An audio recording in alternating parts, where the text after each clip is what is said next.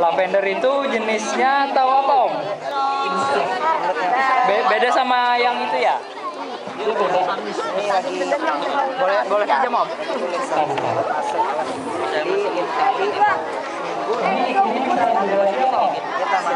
Sampai berapa menit om?